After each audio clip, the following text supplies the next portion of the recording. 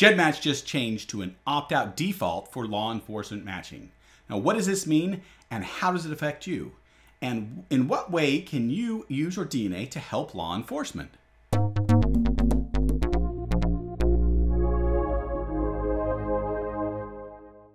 Howdy, I'm Andy Lee with Family History Fanatics, and this is a segment of DNA. Be sure to subscribe to our channel and click on the bell if you'd like to be notified about upcoming episodes. If you haven't logged on to GEDmatch Genesis recently, you need to do that soon because they've made some changes which affect how your DNA is being used and how it's not being used that you want to review. GEDmatch was started in 2010 as a way to compare two different GEDCOM files. Now, it slowly evolved over the next couple of years into a DNA matching program as well, and that's what the major use of the website is now. What was great about the website is that it was the only place where you could match kits from different companies, any of the different companies. You just had to upload your kit and then you'd be able to match with others that had also uploaded. Now, additionally, they had a great set of tools that were available for genealogical use to help you in your research. In early 2018, a news story broke about catching the Golden State Killer in California. And in this story, it was revealed that the GEDmatch database had been used by law enforcement.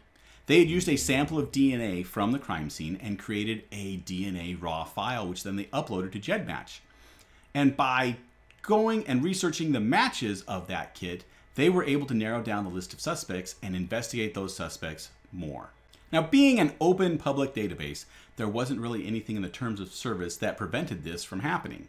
But there was a lot of people that were concerned about how their DNA was being used and the fact that they really hadn't consented to law enforcement using their DNA.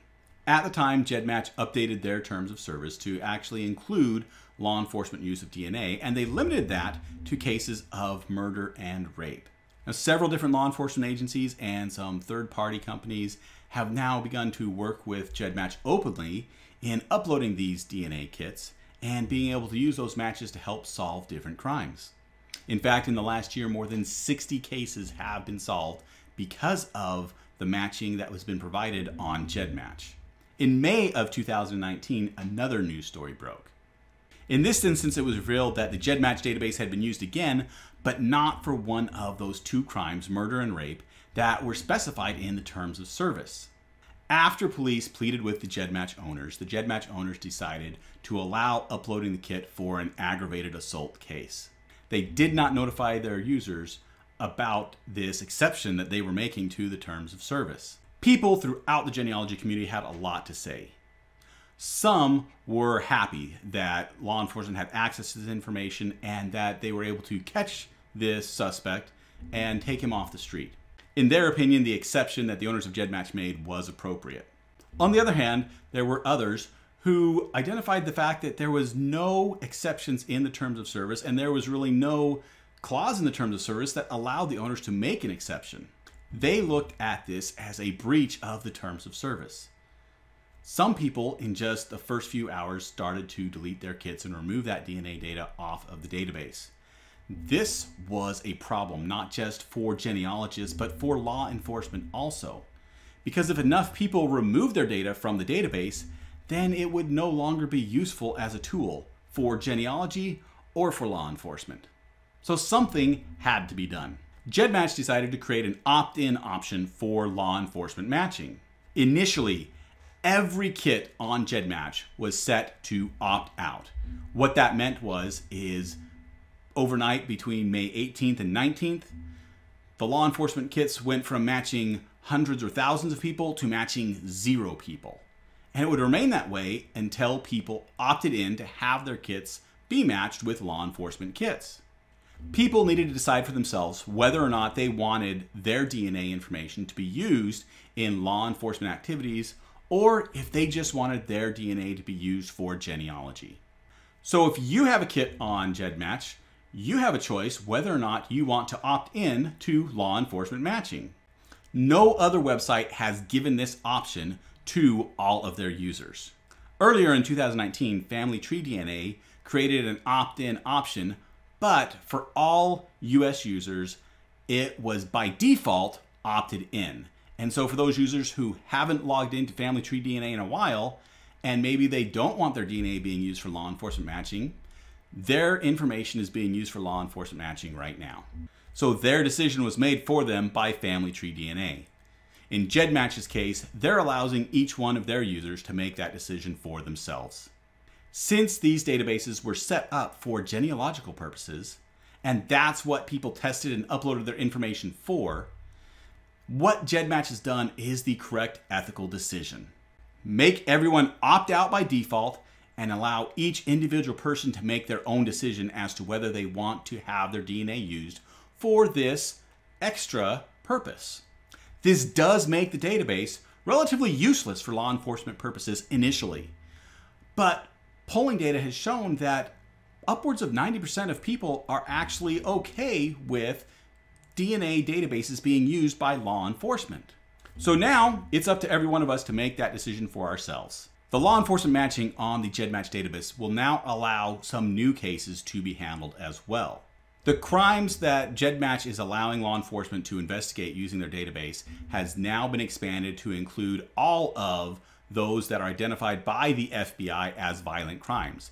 That includes murder, non negligent manslaughter, aggravated rape, robbery, and aggravated assault. Additionally, there are also a lot of cases of unidentified bodies that have been found, and using that DNA to help identify those people. Now, these bodies may or may not have been involved in a crime. DNA and genealogy is a great tool to help develop clues in many of these cases. So I encourage everyone to log into GEDmatch and make the decision for themselves whether or not they want to be part of the law enforcement matching. Where do I stand on this? I'm all for opting in. Let me show you how you can opt in to the law enforcement matching. When you get to the GEDmatch Genesis homepage, you want to scroll down till you see your kits.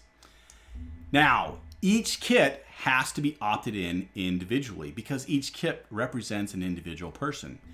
And initially what you see is you see this little icon and it has police and there is an X over it. What that means is that kit is not allowed for law enforcement matching. By clicking on the little pencil, you are going to be able to edit the parameters of that kit.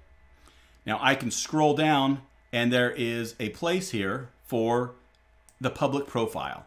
And initially it says that I am public opt out, which means it excludes law enforcement access. And that is the default position of every single kit on the database.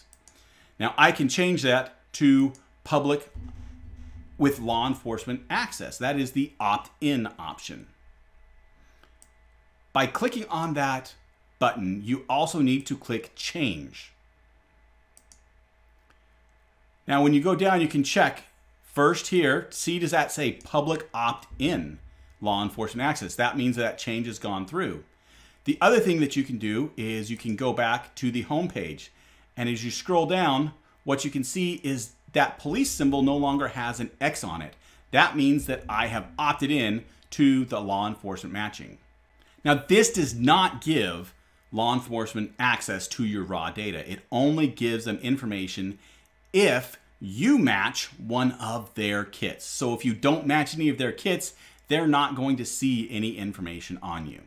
Some people may think that they need to change all of the kits that they manage and that there's going to be a lot of people that they have to talk to. But that's not necessarily the case. Because only a portion of somebody's DNA is passed on to their child or grandchild if you have older generations of people that have tested and they give their consent, then there's actually no reason to opt in any of those younger generation. For instance, I might have DNA from me and my wife and my children. Now, if me and my wife both consent to be opted into the law enforcement database, there's no need to go and ask each one of my children because all of their DNA is already contained within my DNA and my wife's DNA. In other words, there's not going to be any new matches that police will be able to find by including my children if me and my wife are already in there. Let me give you another example. If I have DNA from all four of my grandparents, and after speaking with them, all four of them decide to opt in to the law enforcement matching database, then there's no need for me to talk with my aunts and my uncles.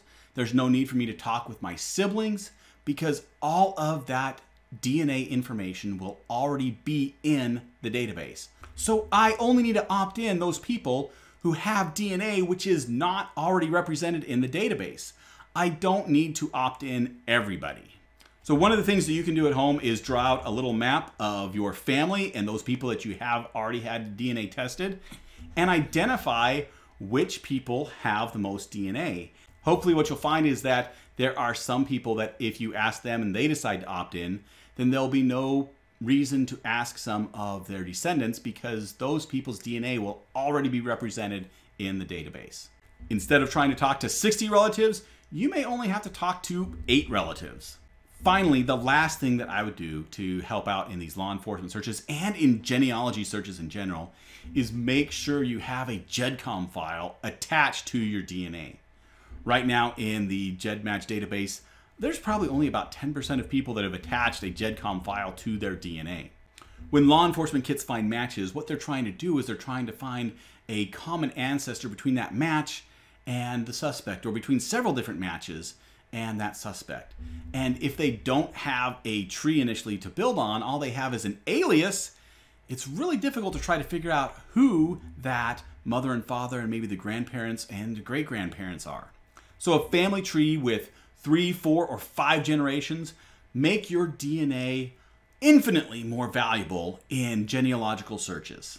Not just for law enforcement, but for the casual genealogist as well. So remember to upload your GEDCOM file and attach your DNA to it. DNA technology is rapidly changing, and in the future, there's probably going to be some more uses for it than we already have right now. We just don't even know about them yet.